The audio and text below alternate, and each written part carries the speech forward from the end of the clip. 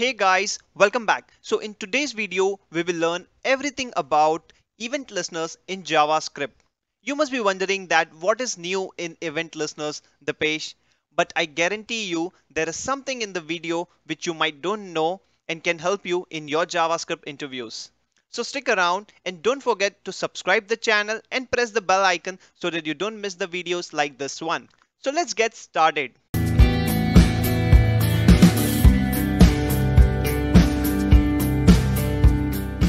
Alright guys, so if you are a student or a working professional who is looking for a great career in software development, then you have to think about the aspects like what's trending in the industry or the kind of questions being asked in the interviews.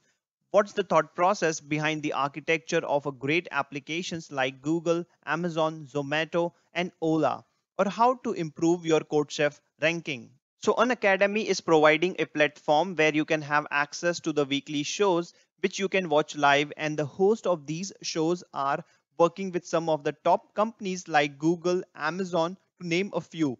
They are seven star coders on CodeChef and are industry experts with their years of experience. They will walk you through their own industry experience and interact with a lot of guests like HR and industry leaders of the top companies, where they will ask questions raised by you in the live episodes, you get an opportunity to ask tech HRs about the top 20 interview questions and the industry leaders directly about their recruitment process in startups and MNCs what's the eligibility and how to apply and how they build such great products. Not limited to this, you can even get your resume and your college or personal projects improved by getting them reviewed by the experts software development engineers. Not only this, you can participate in the mock interviews and learn courses on programming languages, cloud computing, blockchain and crypto, tech aspects of digital marketing, data analytics. And if you have ever thought about how these frontline apps like Zomato, Paytm, GPay, Amazon, Flipkart, Traktor were made in the first place, what was their thought process? So then there is a show to answer all your questions. And in that show, Anuj will discuss about the architecture breakdown of the popular apps. Learners will get to see how these apps are made and how these apps work and you can get your daily dose of learning and many such shows at one price rupees triple nine per year and if you use my code dipesh01 then you will get a 10% discount and get the subscription at 899 per year only you will find all the links related to the Unacademy platform in the description below along with the discount code that you can use for subscription. Alright guys, so I already have some of the boilerplate code and let me give you a quick walkthrough of it. So for the HTML, I have a div with a class of first and box to it. Inside that, I have an another div with a class of second and box. And inside that, I have an input tag with the type of button and a value of click me. And it also has the class as third and box. And for our CSS, I have added some of the basic CSS so that our box looks a little bit nice. And I have also added the script file, which is the event.js where we are going to write our JavaScript code. So in the event.js, I have already taken the references of my HTML elements. And the first thing we are going to do is we are going to start with the very basic by adding an event listener to our first box. So what I'm going to do, I'm going to write an first dot event listener. And we know that the event listener takes couple of arguments. So we will start with the very basic two arguments. The first argument which will be our event. So in this case we are having a click event and the second argument will be a function. It can be an arrow function or it can be a callback. I'm going to use an arrow function. So if you don't know about arrow function, I have a complete video on it. You can click on the card above or find the link in the description. So we have an event and what I'm going to do, I'm just going to do a console log of the event. And now if I click on my first box, you will see that we get a console of the event and this event object contains all the information related to the event listener. But what we are interested in we are interested in the target property. And this target property is actually going to give us the information about the element which we have added the click listener. And you will find all the information inside this. So what I'm going to do I'm just going to do an event dot target and if I save it and if we click on the box one then we are actually going to get the element itself on which we have added the event listener We can actually add more than one event listener uh, on the same element. So if we want to check it, then I'm just going to do a copy paste. And what I'm going to do, I'm just going to save it. And if I click on it, then you will see that I get two console logs. So we can add both the event listeners and the execution of these event listeners happens in the sequence they are written. So it, the first event listener will be printed and then the second event listener will be printed. Next thing I want to show you is let me change this first to first box and I will change this as well to first box and you will notice that when I actually click on the first box, I get the first box as console. But if I click on the second box, I still get the first box. And if I do so for the third box, I still get the first box. And why it is so? Why is this happening? So to understand this, what we will do, we are going to add an event listener to all the boxes. So I'm going to add an event listener to here. And I'm also going to add the event listener to our third all right. So if I click on the first box you will see that the first box is printed. But if I click on the second box you will notice that a second box is printed but then we also have a first box. And if I click on the third box then it's going to print the third box then the second box and then the first box.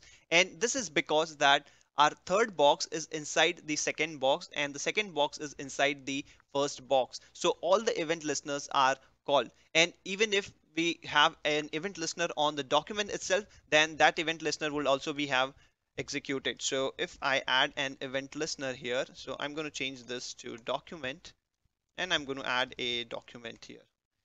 All right. And now if I click on the third box again, you will see that I have a third box, second box, first box, and the document box itself. And this is called event bubbling. And this is just a one phase of the events in JavaScript. Let me show you this more better with some slides. All right, so this is the HTML that we are working on. And so what I have done is I have created the boxes uh, in the hierarchy. So we have the top level element as a window, then we have the document, then we have the first, second, third, and the button. And when we actually click on the button, the event actually propagates from button to third, third to second box, second box to first box. Eventually it goes to the top level element of the document. And this phase is called event bubbling. So this is the only one phase of the event listener but actually we have two phases of the event listener. The first phase is the event bubbling which is by default whenever we add an event listener the event listener is by default is in the bubbling phase but the second phase is the event capturing which starts from the top level of the document and it propagates to the element where the event listener is fired so this event is called the event capturing starts from the window and it will go down till the button or the element where the event is fired. So we can see both these phases with, with the coding example. So let's go back in the Visual Studio Code and let's see both the events. So to make our event listener enter into a capturing phase, what we can do is we can actually add a third argument here. And the third argument we can add as capture and we will do a capture as true. And by default, the value of the capture is set as false. That is why our events are in always an event bubbling phase. So if I make it at true, and if I click on the third box, then you will notice that something strange is happening. And that is because while entering into the event capturing phase, first it starts with the document, but our document doesn't have an event capture as true. So it will go down to the box one and in the box one, it will see that the event capture is true. So that's why the box one is printed and inside the box 2 there is no capture as true. So it will go to the box 3 and inside the box 3 there is no capture as true. And from here the box 3 will get print because box 3 is having a event bubbling phase. Then it will go to box 2 the first one is not having an event bubbling phase so it will skip it and then it will go back to the document. And this is what we actually saw in our slides where the event starts from the window and it enters into an event capturing phase and it will go down the line to the element where the event was triggered and then from there it will go up back with the event bubbling phase. So that's how the event has two phases. Let's add the event capture to each of the element and let's add the event bubble to each of the element. So what I'm going to do, I'm actually going to add the event capture to each of the element. So let's add it four times. So I'm going to add this for the second this will be for the third and this will be for the document. All right and let me change this to document again and this will become the third. All right and now if I click on the box 3 then you will see that it starts from the document then it goes to the first box second box and third box. So this is the event capturing and once the event capturing is done then it's going to start with the event bubbling. So it starts from the third then it goes to the second and for the first one I guess we have only the event capture so that's why we are not able to see it and then the box. So this is how the event capturing and event bubbling happens. But if you want to stop the event propagation whether it's in the bubbling phase or whether it's in the capturing phase we can actually stop this event propagation by using stop propagation. So if we want to stop the events to get propagated, whether it's in the capturing phase or it's in the bubbling phase, we can use the event stop propagation. And this stop propagation will actually prevent the propagation of the events uh, in the capturing and the bubbling phase. So let's try the event stop propagation. So what I'm going to do, I will go to the first box and inside the first box, I'm going to add the event stop propagation. And if I save it then now if I click on the third box you're going to see that it starts from the document. So it will go first with the document box and then it will come to the first box. But after first box it's not going to go to the second or the third. And the event bubbling phase will also not happen because I have stopped my event propagation at the box one itself so let's remove all this uh, event capturing phase. So now we have understood the event capturing phase. So I'm going to remove it.